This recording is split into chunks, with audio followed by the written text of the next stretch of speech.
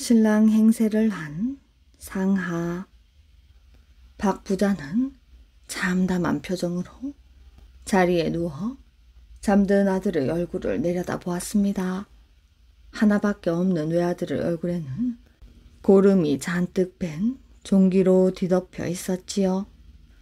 혼산 날이 며칠 남지 않았는데 아들의 얼굴에 난 종기는 없어지기는커녕 외려 자고 나면 하나둘씩 늘어나기만 했답니다. 박 부자는 깊은 한숨을 내쉬었답니다. 어려서부터 영특하고 글 재주가 뛰어났던 아들의 몸에 이런 병이 생긴 것은 장가갈 나이가 된 17살이 되면서였지요. 용하다는 의원은 모두 데려다 치료를 받아보고 좋다는 약은 백방으로 구해 먹여보았으나 아들의 병세는 호전될 기미를 보이지 않고 날로 나빠져만 갔습니다. 박 부자의 아들이 몹쓸 병에 걸렸다는 소문은 인근 마을에까지 퍼졌고 그런 까닭에 어느 누구도 박 부자와 사돈을 맺으려 들지 않았지요. 아들의 병이 위중하여 언제 어느 때 세상을 뜰지 모르는 판국에 그 안에 혼인을 시켜 어떻게든지 후손을 보아야겠는데 도무지 박 부자의 아들에게 시집올 처녀가 없으니 그야말로 난감할 뿐이었지요. 그도 그럴 것이 아무리 재산이 많다고 해도 어느 누가 고이 기른 딸을 나병 환자에게 시집을 보내려 하겠어요. 박 부자는 인근 마을에서는 며느리를 구할 수 없다는 것을 깨닫고 아주 먼 마을로 매파를 보내 마침내 송시성을 가진 처녀와 혼인 날짜를 잡았답니다. 그런데 혼인 날짜가 일주일도 채 남지 않았는데 아들의 얼굴이 저렇게 종기로 짓물려 있으니 혼사를 치를 수 있을지 염려스러웠습니다. 박 부자는 아들의 방을 나와 마당에 서서 하늘을 보았지요. 박 부자가 마당에서 하늘을 우러러 보면서 단식을 하고 있는데 안채 문이 열리더니 하인을 따라 박 부자의 중마고우인 김상수의 아들 상하가 들어왔습니다. 상하는 박 부자의 아들과 연배로 키가 훤칠하고 잘생긴 미남이었지요. 박 부자를 따라 방으로 들어간 상하는 큰 절을 올린 다음 무릎을 꿇고 앉았습니다. 이 밤중에 무슨 일이냐? 집에 무슨 일이라도 생긴 것이냐?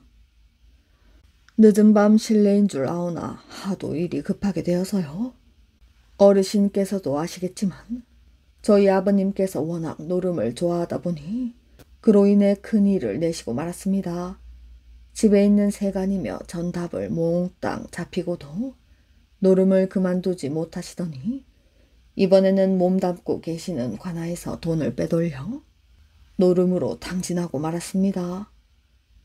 세간이나 전답은 상관없지만 나라 돈을 빼돌렸으니 그 일이 발각이라도 되는 날에는 아버님은 물론 저희 식구들 목숨도 위태롭게 생겼습니다. 제가 무슨 일이 있어도 꼭 갚아드리겠습니다. 상하의 말을 듣고 있는 동안 박 부자는 한 가지 깨를 내었습니다. 얼마면 되겠는가? 삼천냥이 옵니다, 어르신. 그렇다면 내게도 청이 하나 있는데 들어주겠는가?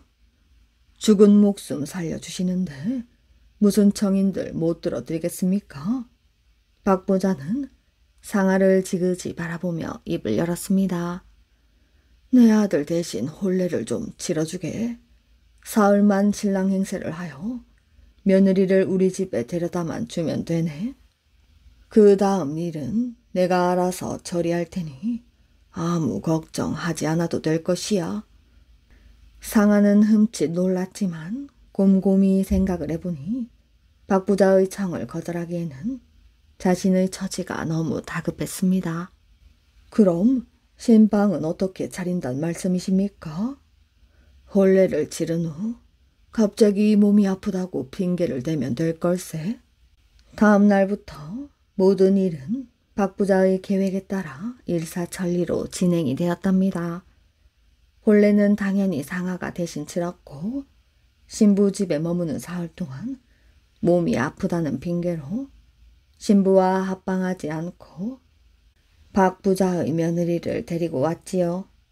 상하는 박 부자의 집에 도착하자마자 신부에게 한마디 말도 없이 서둘러 집으로 돌아갔고 모든 사실을 알게 된 박 부자의 며느리는 하룻밤을 뜬 눈으로 꼬박 세우고 본가로 돌아가 버렸답니다. 한때 박 부자의 며느리로 들어왔던 송씨 처녀 집에서는 이미 혼례를 치른 딸을 다른 곳으로 시집 보낼 수 없다며 박 부자에게 혼례를 치른 신랑을 찾아달라고 성화를 부렸지요. 박 부자의 집 이야기는 삽시간에 온 동네에 소문이 퍼졌고 박 부자의 친구인 김상수의 귀에도 들어갔습니다. 김상수는 잘못하다가는 아들 상아가 위장 결혼한 죄로 옥살이를 할지도 모른다는 생각에 식구들을 불러 모아놓고 의논을 하였지요. 김상수는 한동안 고민에 빠져 있다가 아들 상아에게 말을 했습니다. 어쩔 수 없다. 네가 그리 싫지만 않다면 혼례를 치른 그 처자를 집에 데려와 살도록 해라. 알겠습니다. 상아는 지금 처한 상황이 그럴 수밖에 없긴 했지만 혼례를 치른 처자가 그리 싫은 것은 아니어서 흔쾌히 대답을 하였지요.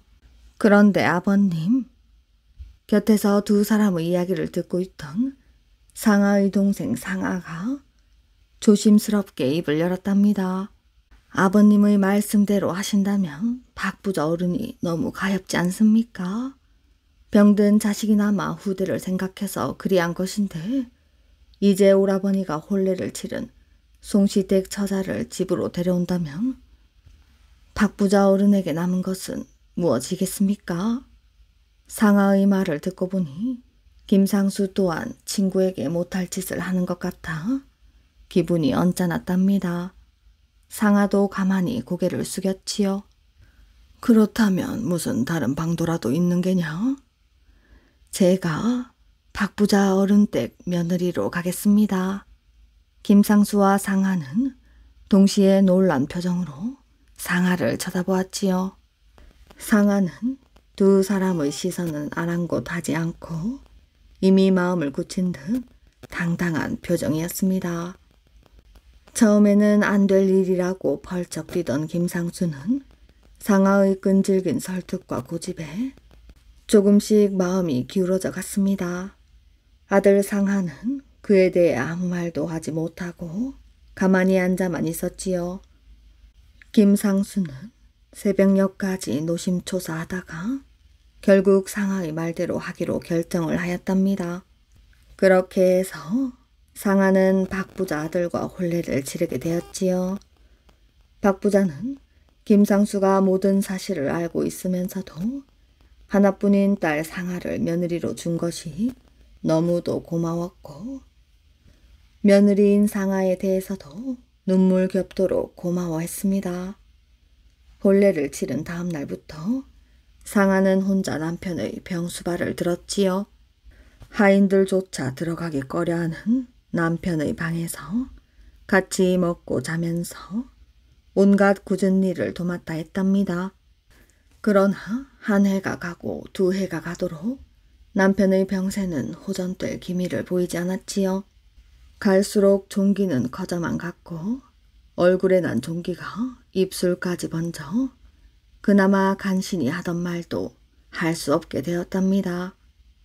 그 무렵 상아는 조금씩 지쳐갔지요. 시아버지인 박 부자의 사랑은 극진하였지만 시어머니는 또 달랐습니다. 처음에는 딸처럼 잘해주더니 해가 바뀔수록 손자 타령을 하며 그것을 병든 아들보다는 며느리 탓으로 돌리기 일쑤였지요.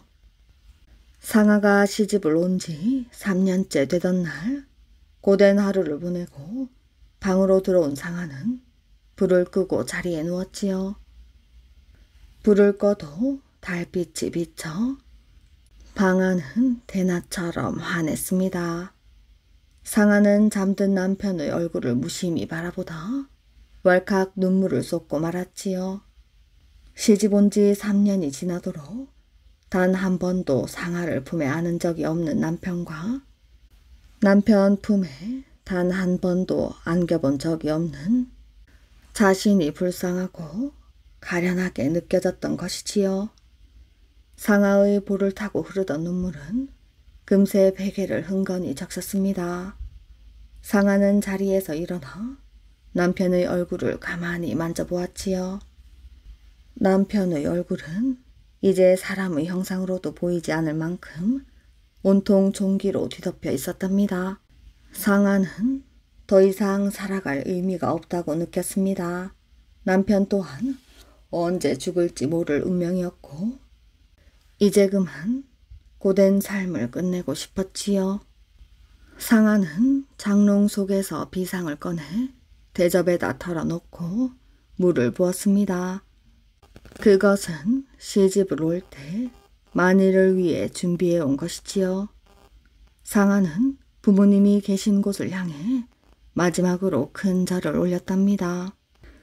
그런데 그 순간 상아의 남편은 잠결에 목이 말랐던지 머리맡에 놓인 물을 찾다가 대접이 손에 닿자 그 물을 벌컥벌컥 단숨에 들이켜 버렸습니다. 흐느끼던 상아는 남편이 물 마시는 소리에 놀라 얼른 대접을 빼앗으라 하였으나 남편은 대접의 물을 한 방울도 남기지 않고 모두 마신 뒤였지요. 여보, 남편은 갈증이 심했던지 상아에게 물을 더 달라고 손짓을 하였답니다. 상아는 놀란 가슴을 가까스로 가라앉히고 대접에 물을 따라 주었지요. 그런데 물을 마시던 남편은 갑자기 물을 방바닥에 쏟아부으며 좀 전에 자신이 마셨던 물을 달라는 신용을 하였답니다. 상아가 자꾸만 주전자의 물을 따르자 남편은 화를 내며 대접을 집어 던져버렸습니다. 안방에서 그 소리를 들은 박부자가 황급히 달려와 방문을 열었지요. 무슨 일이냐? 상아는 말을 잃고 멍청이 서 있었습니다. 박부자는 아들이 물을 달라는 신용을 금방 알아차리곤 하인을 시켜 냉수를 가져오게 하였지요. 그러나 물 맛을 본 아들은 자꾸만 물을 방바닥에 쏟아부으며 그 물이 아니라는 신용만 하였답니다. 몇 번이고 그 일이 반복되자 박 부자는 무슨 사연이 있음을 눈치채고 상아에게 자초지종을 물었지요. 상아는 눈물을 쏟으며 시아버지 앞에 낱낱이 고했습니다. 그 말을 들은 박 부자의 눈시울도 족족이 잦았지요. 어린 것이 얼마나 마음고생이 심했으면 죽을 마음을 먹었을꼬. 며느리 말을 듣자니 박 부자의 마음도 찢어질 듯 아팠습니다. 아들은 이제 아예 스스로 옷을 쥐어뜯으며 비상탄 물을 달라고 야단이었고 찢어진 옷 사이로 드러난 몸에서는 종기가 터져 악취가 진동을 하였지요. 박 부자는 하인을 시켜 비상을 가져오게 하였습니다. 상아는 눈물을 흘리며 말렸지만 박 부자는 하나뿐인 아들을 짐승의 모습이 아닌 인간의 모습으로 죽게 하고 싶었지요. 박 부자는 직접 물에다 비상을 타서 아들에게 주었답니다. 물맛을 본 아들은 허겁지겁 그 물을 들이켰지요. 아들은 비상 탄 물을 한 주전자나 마시고서야 겨우 잠에 골아 떨어졌습니다. 박 부자는 하인을 시켜 장례 준비를 시켰습니다. 상아는 남편 곁에 앉아 뜬 눈으로 밤을 지샜지요. 얼마나 울었던지 눈을 제대로 뜰 수가 없었답니다. 상아는 남편의 죽음을 차마 두 눈으로 확인할 수가 없어 고개를 돌린 채 앉아 있었지요. 그런데 죽은 줄로만 알았던 남편의 입에서 가느다란 숨소리가 새어나오는 것이 아니겠어요? 상아는 얼른 남편을 쳐다보았습니다. 남편은 죽은 것이 아니었지요. 그뿐만 아니라 놀라운 기적이 일어났습니다.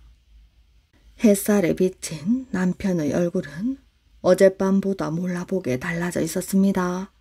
종기에 고였던 피고름이 깨끗하게 없어지고 그 위에 낙지가 붙어 있었지요. 상아는 너무나 놀라 큰 소리로 박부자를 불렀답니다. 아들의 얼굴을 본 박부자는 자신의 눈을 의심했습니다. 그리고 이내 기쁨의 눈물을 흘렸지요. 그로부터 10여일이 지난 후 박부자의 아들은 예전처럼 정상의 몸으로 돌아왔습니다. 이를 두고 사람들은 상하의 정성이 하늘에 닿아 남편을 살렸다며 두고두고 칭찬을 하였다고 합니다.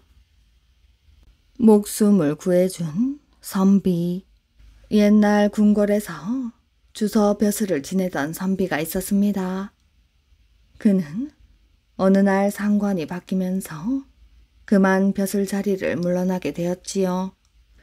선비는 고향인 충청도 땅으로 내려가기로 결심을 하였습니다. 가는 날이 장날이라고 선비가 길을 떠난 날은 유난히 춥고 눈보라가 심했지요. 묵묵히 눈보라를 헤치며 길을 가던 중 날이 저물었습니다. 멀리 주막이 보였지요. 저 주막에서 하룻밤 묵어야겠군. 선비는 주막을 향해 가던 길에 그만 정신을 잃고 길에 쓰러져 있는 한 부부를 발견했습니다. 부부 사이에는 어린 여자아이도 있었지요. 선비는 놀라서 그 부부를 흔들어 깨웠습니다. 이보시오. 이 추운 날 눈길에 쓰러져 있다니. 자세히 보니 두 사람이 입은 의복은 남루하기 그지없었습니다. 또한 며칠 굶은 듯 보였지요. 이보시오. 정신을 차리시오. 오늘 같은 날 이대로 있다가는 얼어 죽기 십상이오. 선비가 흔들어 깨우자 간신히 눈을 뜬 남자가 말을 했습니다. 저희들은 시골에 살다가 생활이 여의치 못해 한양으로 가는 길이었습니다. 그런데 도중에 여비가 다 떨어진 데다 딸아이가 중병에 걸려 죽을 지경이 되고 말았지요. 옷도 제대로 입지 못해 덜덜 떨면서 힘없이 대답하는 남자를 보니 선비는 측은한 마음이 들었지요. 자기도 넉넉한 편은 아니었지만 그 사람들을 외면할 수가 없었습니다. 선비는 입고 있던 털조끼를 벗었습니다. 이런 아이의 몸이 불덩이 같구려. 선비가 털조끼로 아이를 쌓아누며 말을 했지요. 자, 힘을 내서 나를 따라오시오. 저 주막에 가면 욕이라도 할 수 있을 것입니다. 선비가 재촉하자 부부는 이를 악물고 일어나더니 비틀거리며 선비를 따라갔습니다. 가까스로 주막에 도달한 선비는 따뜻한 방과 음식을 주문하고 의원을 불러 어린아이를 진찰하도록 했지요. 다행히 죽어가던 아이가 건강을 회복하는 기미가 보였습니다. 다음 날 서로 헤어질 때 선비는 자기 주머니에 남아있던 얼마의 돈을 아이 아버지에게 주었지요. 얼마 안 되나 노자에 보태 쓰시오. 참으로 고마운 분이십니다. 염치 없이 받겠습니다. 이 은혜를 갚을 날이 있을지 모르겠으나 어디 사는 뉘신지 알려주고 가십시오. 어려울 때 돕는 것이 사람의 도리이니 그리 내세울 바가 아니지요. 아닙니다, 선비님. 저희 가족의 생명의 은인이십니다. 특히 우리 여식은 선비님이 아니었으면 살아남지 못했을 것입니다. 그러니 이름 석자만이라도 남겨주십시오. 허허, 이름을 알릴 일도 못 되는 것을 그저 주서 벼슬을 지내던 이가라고만 알려드리리더. 선비는 이렇게 말하고 자기 갈 길을 갔습니다. 부부는 떠나는 선비의 뒷모습을 보고 고마워 하염없이 눈물을 흘렸지요. 그 뒤 15년의 세월이 흘렀습니다. 그 겨울 산길에 쓰러져 있던 사람은 김한구라는 사람이었지요. 김한구는 다행히 한양에서 자리를 잡아 그때 병들었던 어린 딸을 곱게 길렀습니다. 김한구 부부는 이제 살만해졌지만 지난날 눈길에서 선비의 도움을 받았던 일을 자나깨나 잊지 않았지요. 그 선비의 따뜻한 은혜가 아니었다면 우린 벌써 눈길에서 얼어 죽었을 게다. 김한구의 어린 딸은 어릴 때 자기를 살려준 은인에 대한 이야기를 귀가 닳도록 듣고 자랐지요. 그런 김한구의 어린 딸이 열다섯 살이 되었을 때 왕비가 되었답니다. 중전은 불우했던 과거를 딛고 한나라의 왕비라는 존귀한 몸이 되고 보니 이름 석자도 모르는 그 선비의 은혜가 더욱 사무치곤 하였답니다. 어느 날 중전은 임금에게 자기의 지난 날을 이야기하게 되었는데 이름을 모르는 선비에게 은혜를 받은 일을 아뢰고 눈물을 글썽였지요. 소첩이 그 사람의 은혜를 갚지 못한다면 어찌 사람의 도리를 다했다고 하겠습니까? 전하, 부디 저희 은인인 그 사람을 찾아주십시오. 중전의 이야기에 감동한 임금님이 고개를 끄덕이며 말을 했습니다. 그 사람이 아니었다면 오늘날 짐이 어찌 중전을 만날 수 있었겠소? 임금님은 그 자리에서 승지를 불러 명령을 하였습니다. 예전에 주서 벼슬을 지낸 사람 중에 충청도가 고향인 이 아무개를 수소문하여 입궐하라는 명을 전하라. 승지는 그날부터 예전에 주서 벼슬을 지냈고 충청도가 고향인 이 아무개를 찾기 시작했습니다. 한편 고향에 내려와 살고 있던 선비는 너무 가난하여 끼니를 찾기 어려울 정도로 힘들게 살고 있었지요. 그런 선비의 집으로 어느 날 뜻밖의 왕명이 내려왔습니다. 영문을 모르는 선비는 깜짝 놀랐지요. 다음 날 아침 길을 떠난 선비는 며칠 후 한양에 도착을 하였습니다. 그런데 그가 한양에 도착하자마자 부원군 김한구의 집으로 들어오라는 전가를 받았지요. 선비가 영문을 알지 못한 채 부원군 집으로 가니 황송하게도 부원군이 버선발로 달려나와 선비를 맞이했습니다. 부원군은 몸둘 바를 몰라하는 선비를 친히 큰 사랑으로 안내를 했지요. 그 방에는 귀빈을 위한 것인 듯한 진수성찬이 마련되어 있었습니다. 여기 앉으시지요. 선비는 부원군이 안내하는 자리로 앉았습니다. 나를 알아보시겠어? 오랫동안 시골에 산 제가 어찌? 선비는 여전히 무슨 일인지 몰라 어리둥절했습니다. 그렇다면 지금부터 15년 전 어느 겨울날 길에서 죽어가는 한 가족을 살려준 일은 기억하고 있어? 선비는 그제야 전후의 일을 확실하게 알 수 있었습니다. 15년 전의 일을 기억해낸 것이지요. 그때 이공께서 목숨을 구해주신 분이 바로 중전마마입니다. 모든 영광이 이공의 은혜에서 비롯되었다 해도 틀린 말이 아니지요. 이렇게 다시 만나고 보니 감회가 새롭습니다. 부원군은 옛일이 생각나서 눈가에 눈물이 맺혔습니다. 다음 날 임금님은 선비의 어진 마음씨를 지하하며 높은 벼슬을 내렸습니다. 그 뒤 선비의 가문은 자손 대대로 융성했다고 합니다. 동물과 말을 하는 아이 옛날 어떤 마을에 짐승의 말을 알아들을 줄 아는 아이가 있었습니다. 그런데 이 아이의 어머니가 병이 나서 이런 약 저런 약을 다 써보았지만 어머니의 병은 도무지 낫지를 않았지요. 그래서 아이는 자기가 약을 구해보려고 산으로 올라갔답니다. 산을 이리저리 헤매어 돌아다니다가 깊은 산 골짜기에 들어가게 되었는데 한 곳에서 까마귀 떼들이 울고 있었지요. 아이가 가만히 들어보니 저기 먹을 것이 있다 하는 말로 들렸습니다. 아이는 배도 고프고 해서 그곳으로 가보았더니 거기에는 뜻밖에도 어떤 남자가 칼에 맞아 죽어 있었지요. 아이는 깜짝 놀라 뒤도 돌아보지 않고 뛰었습니다.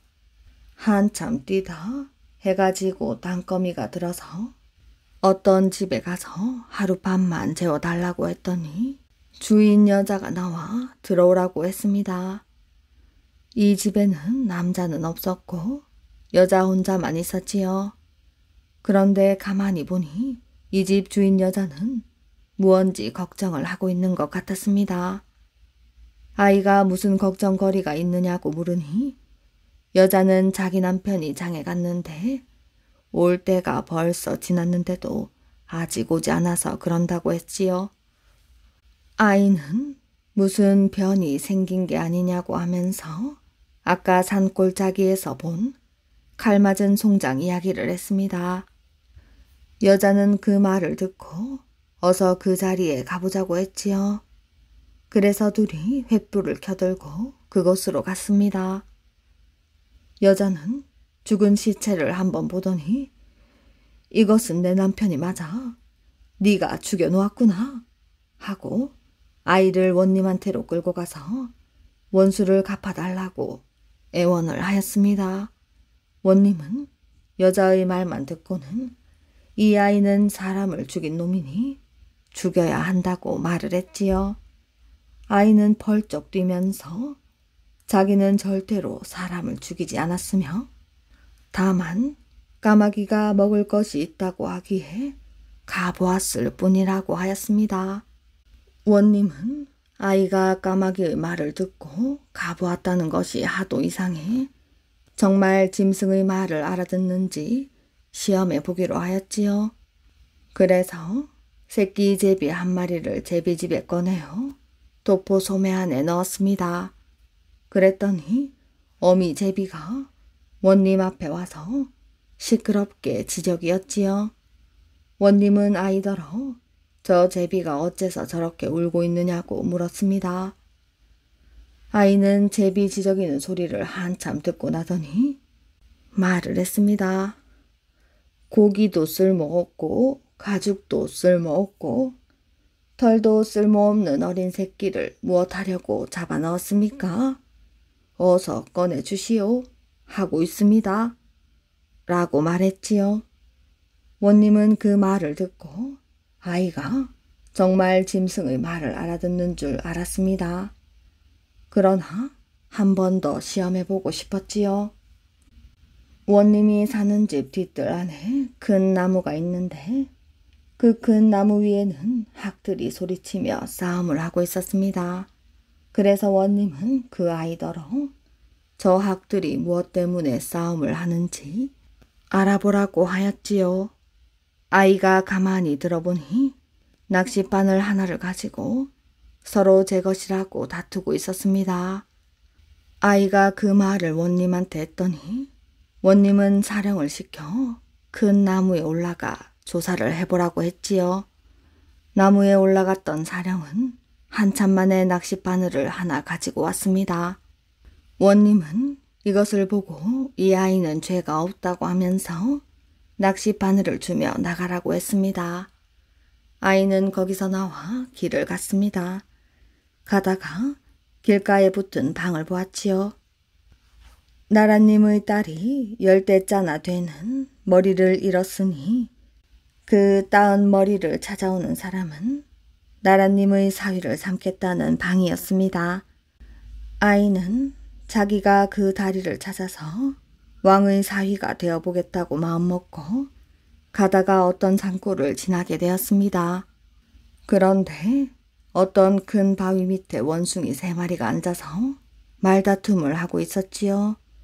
아이가 원숭이 옆에 가서 뭘 가지고 다투느냐고 물으니 원숭이 한 놈이 갓을 하나 내보이면서 이 갓을 쓰고 고개를 까딱하면 짐승이건 사람이건 그 앞에서 죽는다고 하였습니다. 그러니 다른 원숭이 한 마리가 호미 한 자루를 내보이면서 이 호미는 죽은 사람의 등을 한번 푹 긁으면 살아나는 홈이라고 했지요. 그러니 또 한 마리가 채찍을 하나 내보이면서 이 채찍은 땅을 한번 치면 험한 산이나 깊은 물이 모두 평평한 길이 되는 채찍이라고 했습니다. 그러면서 이 세 가지를 서로 차지하겠다고 다툰다고 하였지요. 아이는 원숭이들의 말을 다 듣고 나서 너희들이 아무리 다투어도 끝나지 않을 터이니 내가 가려주마. 내가 이 갓을 쓰고 양손에 채찍과 호미를 들고 있을 터이니 너희들은 뛰어 저기 있는 소나무를 한 바퀴 돌아와 먼저 온 놈이 다 차지하거라 하고 말을 했습니다. 그래서 아이는 갓을 쓰고 호미와 채찍을 양손에 들고 원숭이를 향해 뛰라고 소리를 쳤지요. 원숭이들은 뛰어서 소나무를 한 바퀴 돌고 아이 있는 곳으로 왔습니다. 그런데 원숭이 셋은 똑같이 와서 서로 갓과 호미와 채찍을 다 가지려고 아이를 밀치고 했습니다. 그 바람에 아이의 고개가 까딱까딱해져서 원숭이 세 마리는 모두 다 죽고 말았지요. 아이는 이것을 보고 원숭이들이 불쌍하여 호미로 원숭이 등을 푹푹 긁어 주었더니 원숭이들이 다시 살아났습니다. 원숭이들은 죽은 우리를 다시 살게 해 주어서 고맙다고 인사하고는 이런 것들은 저희들이 가지면 또 싸움밖에 알 수 없으니 도련님 가지라고 했습니다. 이렇게 해서 아이는 뜻밖의 보물을 세 가지나 얻게 되었지요. 서울에 와서 임금님이 계시는 대궐을 찾아가서는 임금님께 공주의 따은 머리를 찾아올 테니 정말 사위로 삼겠느냐고 물었습니다. 그러니 임금님은 찾아만 오면 사위로 삼겠는데 20일 안에 찾아와야지. 그렇지 않으면 죽인다고 하였지요. 아이는 그 말을 듣고 공주의 따은 머리를 찾으러 길을 떠났습니다. 가다가 큰 연못에 이르러 고기를 낚을 셈으로 하간테서 얻은 낚시를 연못에 담갔지요. 조금 있으니 큰 잉어 한 마리가 걸렸습니다. 어찌나 큰 잉어인지 아이는 도로 물속으로 넣으려고 했지요. 그러니 그 잉어는 사람으로 변하더니 죽을 목숨을 살려주어서 고맙다고 몇 번이나 말을 하고는 자기를 따라오라면서 물속으로 들어갔지요. 아이가 채찍으로 연못을 치니 물은 없어지고 평평한 큰 길이 생겼습니다. 아이가 그 길을 따라갔더니 용궁이 나타났지요. 용궁에서는 용왕이 나와 아이를 맞아들고는 큰 상을 차려다 놓고 그게 잔치를 베풀었지요. 잔치가 끝나자 용왕은 아이의 손을 잡고 내 딸이 죽었으니 살려달라고 애원을 하였습니다. 아이는 원숭이에게서 얻은 호미로 죽은 용왕의 딸의 등을 한 번 긁었더니 잠에서 깨어난 사람처럼 일어났지요. 용왕이 이것을 보고 우리 딸을 살린 은인이라고 매우 기뻐하며 무엇이든 소원이 있으면 말해보라고 하였습니다. 아이는 열대짜나 되는 공주의 따은 머리를 찾아달라고 했습니다. 용왕은 그러라고 하며 따은 머리가 많이 든 괴를 하나 갖다 주었지요. 아이는 그 괴에서 따은 머리 하나를 꺼내 들고는 용궁을 떠나 육지로 나왔습니다. 그런데 임금은 약속한 스무 날이 지났다며 아이를 잡아 죽이려고 군사를 사방에다 풀어놓았습니다. 군사들은 아이를 보자 죽이려고 활을 쏴댔지요. 아이는 원숭이에게 얻은 갓을 쓰고 고개를 까딱까딱 했습니다. 그러니 활 쏘던 군사들은 픽픽 쓰러지고 하나만 남았지요. 살아남은 군사는 아이고 제발 살려주십시오 하고 싹싹 빌었답니다. 그래 살려주마. 그리고 죽은 군사를 모두 살려놓을 테니 어떻게 하겠느냐 하고 물으니 군사는 예 그렇게만 해주신다면 우리는 모두 도련님을 임금님 계시는 데까지 모셔다 드리겠습니다. 하고 말을 했지요. 아이가 곧 호미를 가지고 죽은 군사들의 등을 북북 긁으니 모두 살아났습니다. 군사들은 아이를 잘 모시고 임금에게로 갔지요. 아이가 열대자 되는 공주의 따은 머리를 바치니 임금님은 대단히 기뻐하며 아이를 사위로 삼았다고 합니다. 이렇게 해서 아이는 임금님의 사위가 되고 어머니를 모시다 병도 고치고 잘 살았다고 합니다. 율곡 이와 유지 율곡 선생은 성리학의 밝을 뿐만 아니라 학식과 덕행이 높아 모범이 될 만할 인물이지요. 2조 500년을 통하여 성리학의 완성자로 추대 조낭되었을 뿐 아니라 그는 국가와 민족의 만년대계를 위하여 힘쓰다가 뜻과 같이 되지 않으므로 스스로 물러서서 하루아침에 해주 석담에 숨어 후학을 교도하였던 것입니다. 그러한 분으로 어찌 여성에 관한 사소한 이야기라도 있을 수가 있겠느냐 하는 것이 일반적인 생각이지요.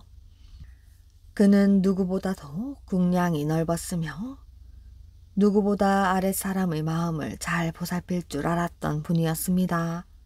그것이 윗사람 된 돌이었을 것을 다시 말할 필요도 없는 바이지요.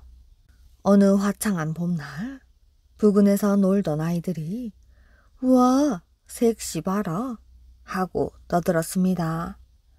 색시가 나귀를 타고 들어온다. 아이들은 우르르 그리로 몰려갔지요. 과연 거기에는 한 사람의 아름다운 여인이 나귀 등 위에 오연히 앉아 마을로 들어오고 있었습니다. 여인은 어린 아이들에게 물었지요. 여기 율곡 선생 댁이 어디니? 저기 큰 바위 아래 버드나무선 앞집이요. 여인은 나귀를 몰아 여전히 딸랑딸랑하고 달렸지요. 이윽고 율곡 선생 집 대문 앞에 이르러 여인이 내렸습니다. 어느 것 하나 빠진 데가 없는 곱고 아름다운 여인이었지요. 정말 아름다운 여자군. 동네 젊은이들이 말을 하였습니다. 선생님이 저런 여인하고 어떻게 관계가 생겼을까? 희한한 일도 많지. 선생님인들 어찌 여자가 싫겠니? 하고 젊은이들이 말하니 그중 영리해 보이는 한 자가 그런 게 아니야. 선생님의 일갑벌 되는 사람이래. 하고는 아는 신용을 하였답니다. 율곡 선생은 오, 유지. 하고 반겨서 여자를 방으로 인도하였고, 여인도 여인대로 선생님 하고 울먹울먹한 어조로 율곡을 반겼습니다. 참 오래간만이 오 그려. 선생님을 배우려고 별은 지가 벌써 얼만지 모르겠어요. 하고는 손수건을 눈에 대는 것이었습니다. 유학이 열쇠를 뒤덮는 율곡이었지만 여인의 그리운 눈물 앞에는 또한 어쩔 수 없는 하나의 나약한 인간이었습니다. 이웃집 멋모르는 사람들은 선생님이 희한한 일도 있네 선생님인들 별 수 있겠어? 하며 그런 소리를 율곡 선생과 유지라는 여인을 두고 하는 것이었습니다. 하루가 지나고 이틀이 지났지요. 그래도 그 여인은 율곡의 곁을 떠나지 아니하였습니다. 이웃 사람들은 그래도 워낙 도가 높은 선생을 의심하려고 하지는 않았지요. 선생은 여인과 육회의 담소를 나누었습니다. 그 어려운 시절에 여인이 한 번 웃기만 하여도 집안이 망한다는 시절에 그는 우리 유지 참 아름답군 하였고 선생님을 이렇게 곁에 모시고 있으니 하늘에 오르는 것 같아요 하였지요. 율곡의 부드러운 목소리는 여인으로 하여금 더욱 율곡의 높은 뜻을 우러러보게 하였습니다. 그러던 어느 날 선생은 유지를 데리고 흥겨웁게 놀다가 그의 비단 치마폭에 유지사 한 폭을 써서 주니 유지는 감격 어린 눈으로 이를 바라볼 뿐이었지요. 그로부터 또 며칠이 흘렀습니다. 선생은 이제 유지를 보내는 모양이었지요. 그동안 선생님이 여자와 상관하셨으니까 하는 젊은이들에게 흠 벼락 맞을 소리 말아라. 선생과 유지와의 얘기를 함께 들어보렴 하고 입을 열었답니다. 곁에 앉아있던 젊은이들은 침을 흘리고 이야기를 들었지요. 그것은 벌써 몇 해 전 일이었습니다. 비록 해주의 석담에 은신 둔거하고 있었지만 율곡은 역시 선조의 존경하는 신하였습니다. 항상 곁에 두고 싶은 신하였지만 당시의 형편으론 또한 그것이 불가능하였지요. 하지만 국가에 중요한 일이 생길 때면 율곡은 임금의 부르심을 또한 물리칠 수가 없었답니다. 그때 명나라에서 나올 황제의 직사를 맞이하는데 도학 높은 율곡이 필요하였지요. 칙명으로 그를 원접사에 봉하노라 하였습니다. 그리하여 그는 석담에서 여장을 싸가지고 훌훌히 길을 떠나니 명나라의 직사를 맞이하러 의주로 가는 길에 그는 의주 전리길을 향하여 떠나는데 황주 땅에 도착하였을 때였습니다. 어느 주막에 하룻밤의 여장을 푸니 몸이 고단하여졌지요. 가물가물거리는 등불 아래 율곡은 어렴풋이 풋잠이 들려 하였습니다. 바로 그때 방문이 열렸지요. 율곡은 밖을 내다보았습니다. 웬일이냐? 한 사람의 아름다운 여인이 소반의 주안상을 차려가지고 사뿐사뿐 방 안으로 들어오는 것이 아니겠어요? 눈을 들어 한번 바라다 보니 그것은 여인이라기보다 한 사람의 아름다운 선녀처럼 보였습니다. 대체 누구냐? 율곡의 음성이 다소 거칠어졌습니다. 예, 다름이 아니오라. 본관 황주 목사께서 하고 말을 하니 율곡은 벌써 다 알았다는 듯 그래 반갑다. 어서 앉거라 하였지요. 황주 목사가 율곡 선생을 위로하기 위한 조그만 잔치였습니다. 쇳내를 보내시면서 대감께 안우 여쭙고 모시고 오라 하였습니다. 오냐 하고 율곡은 다시 눈을 감았습니다. 고운 여인이로구나. 그래 이름이 무엇인고? 쇳내는 유지라 하옵니다. 버들 유자 가지 자자이지요. 오 유지 좋은 이름이다. 그만하면 얼굴도 놀랍구나. 율곡의 입에선 이런 소리까지 흘러나왔습니다.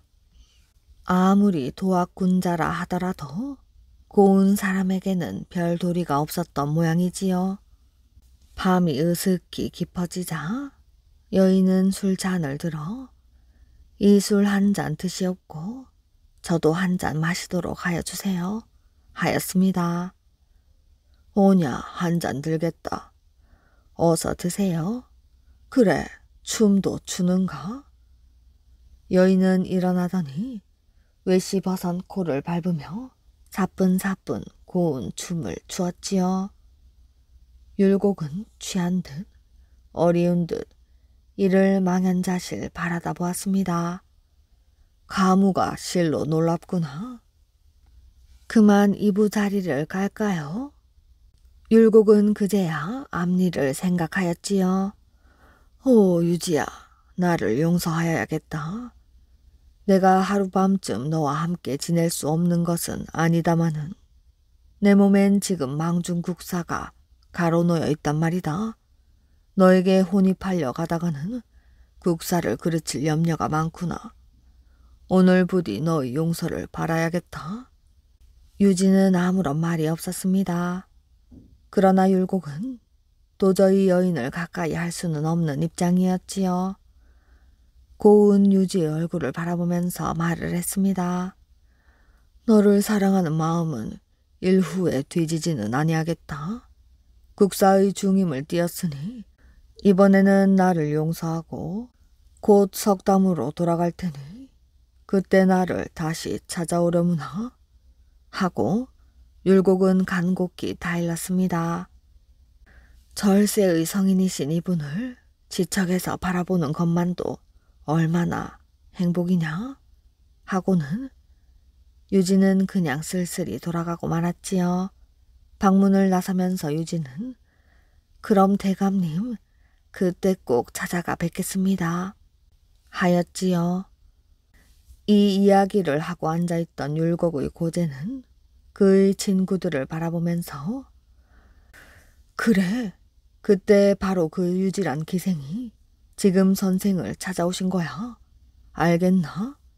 선생님은 모든 사람의 마음을 아프게 하시지 않을 분이시니까. 옆에서 듣고 있던 모든 젊은이들도 확실히 높으신 스승님 율곡을 다시 한번 바라본 듯 하였습니다. 말 주인은 누구? 한 마을에 세 친구가 있었답니다. 그 이름을 정주인, 중림호, 동경귀라고 하였지요. 하루는 말 타고 가는 사람을 보고 자기들끼리 이야기를 나누었답니다. 먼저 정주인이 말을 꺼냈지요. 말을 가지고 있다면 참 좋겠군. 먼 길을 터벅터벅 다리 아프게 걸어 다닐 필요도 없고 개울을 만나도 발을 벗을 수고도 없을 테니 말이야. 어디 그뿐이겠나. 말을 타고 산과 들을 다니면서 사냥을 하면 오죽 좋겠나. 뭐니 뭐니 해도 말은 짐을 싣는 짐승이니 무거운 짐을 낑낑거리며 등에 지고 다닐 필요가 없지. 중리모와 동경귀도 각기 한마디씩 거들었지요. 그러나 그들 누구도 말 한마리를 단독으로 살 돈이 없는 것이 안타까웠답니다. 그때 가장 꽤 많은 청주인이 묘안을 냈습니다. 우리 셋이 돈을 내어 공동으로 말 한 피를 사면 어떨까? 세 사람이 말 한 피를 사서 어떻게 한담? 물건처럼 나누어 가질 수도 없고 중림호가 반대를 하고 나섰지요. 그러나 동경귀는 공동으로 사자는 청주인의 의견에 동의를 하였답니다. 우리가 어차피 말 한 마리씩 살 수 없을 바에 공동으로 한 피를 사는 것도 괜찮지. 우리 세 사람이 같이 몰고 다니면 될 게 아닌가? 이리하여 말 한 피를 공동으로 사기로 의견이 통일되었습니다. 그러나 소속을 분명히 하기 위해 각 부분의 소유권을 지정해 둘 필요가 있었지요. 가장 영리한 청주인은 나는 말 허리를 사겠으니 그대들도 각각 한 부분씩 고르게 하니 중리모는 머리가 가장 앞에 붙어 있으니 말 머리를 사고 동경귀는 꼬리를 샀지요. 말을 사고 나자 청주인이 말 허리를 산 사람은 나니 마땅히 내가 타야 하지. 그대들은 자기 소유 부분이나 잘 잡고 따라와 하며 말을 타고 달리자 중리모는 말에게 먹일 꼴을 쥐고서 말 머리를 끌고 동경귀는 말 궁둥이를 잡고 말똥을 덮었으면서 뒤를 따랐지요. 두 사람의 고통은 말이 아니었습니다. 두 사람은 정주인에게 항의를 제기했지요. 그리하여 말 타는 사람을 다시 정하기로 했답니다. 이번에는 가장 높고 먼 곳에서 놀았던 사람이 말을 타기로 했지요. 중리모가 내가 전에 하늘 위에서 논 일이 있지 하니 동경귀는 나는 하늘 위로 떠다니는 구름을 타고 날아다녔는데 하였지요. 이야기를 잠자코 듣고 있던 청주인은 동경귀를 보고 네 손이 닿는 곳에 무슨 물건이 없었던가? 긴 막대 같은 것이 있었지. 그 긴 막대 같은 것이 바로 내 다리였네. 자네는 내 다리를 만지고 왔으니 분명히 내 아래에 있었던 것이지. 하였습니다. 결국 이번에도 두 사람이 청주인을 상대하지 못하고 오래도록 그의 종이 되었다고 합니다. 원광 법사를 만나러 간 두 청년. 가실사로 가는 길은 제법 멀었습니다. 젊고 혈기왕성한 두 청년, 귀산과 취향은 서로 이런저런 이야기를 나누며 발길을 재촉하였지요. 귀산은 문 장군의 아들로서 그 의기가 출중했으며 취향 또한 그에 못지않은 기상과 사나이로서의 늠름함을 두루 갖추고 있었지요. 오늘 귀산과 취향이 가실사를 찾아가는 것은 원강법사를 만나기 위함이었지요. 수나라에서 불법을 공부하고 신라로 돌아온 원강법사는 이미 당대의 유명한 스님으로 사람들의 추앙을 한 몸에 받고 있었답니다. 절친한 두 친구 사이가 원광 법사를 만나러 가게 된 것은 며칠 전 귀산이 한 말 때문이지요. 여복의 취향, 우리 몸은 비록 속세에 살고 있다 하나 그 정신은 거울처럼 맑고 깨끗해야 한다고 생각하네. 듣자니 가실사에 있는 원광법사의 덕망이 뛰어나다고 하니 한번 찾아뵙고 그 가르침을 듣는 게 어떻겠는가? 귀산의 말을 들은 취향은 그 말이 일리가 있다는 생각이 들어 나를 잡아 이렇게 길을 나서게 되었습니다. 가실사에 도착한 귀산과 취향은 부처님께 예불을 드리고 원광법사 앞에 공손히 무릎을 꿇고 앉았지요. 저희가 비록 세상에서 속인의 몸으로 살아가지만 마음을 깨끗이 하고 정대하게 한다면 부처님의 가르침에서 크게 벗어나지 않을 것으로 사료되옵니다. 그러니 부디 법사께서는 저희가 속세에서도 그 마음을 잃지 않고 살아갈 수 있도록 참된 진리의 말씀을 들려주십시오. 귀산의 말을 들은 원광법사의 얼굴에 대견한 표정이 역력하게 드러났지요. 너희의 뜻이 갸륵하기를 이를 데 없구나. 그러나 속인으로서는 지키기 어려운 것이 한둘이 아닐 터인데 원광법사의 말에 취향이 나섰지요. 비록 지키기 힘들다 할지라도 끝까지 지키려고 애쓰는 그 마음만은 소중히 간직해 두겠습니다. 그렇다면 잘 듣거라. 첫째, 백성된 도리로서 나라에 충성할 것이요. 둘째, 자식된 도리로서 부모에게 효도를 다할 것이요. 셋째, 친구된 도리로서 신의를 지킬 것이요. 넷째, 싸움에 임해서는 물러서선 안 될 것이요. 다섯째, 짐승을 죽이되 가려서 죽이라는 것이다. 너희가 능히 이 다섯 계명만을 지킨다면 속인으로서도 그 마음 바탕은 잃지 않을 수 있으리다. 원광법사의 말을 들은 귀산과 취향은 기쁜 마음으로 법사 앞에 근절을 올리고 가실사를 떠났답니다.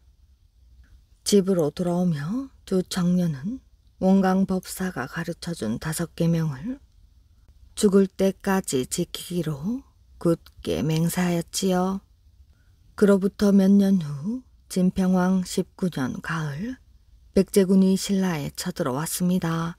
진평왕은 여러 장군들에게 군사를 주어 전지로 급파하였는데 그 가운데에는 귀산의 아버지인 문 장군도 있었답니다. 군사들 중에는 아버지를 따라 나선 귀산과 나라를 구하겠다는 일념으로 그 대열에 합류한 취향도 있었지요. 신라군은 백제군을 맞아 말 그대로 죽기를 각오하고 싸웠답니다.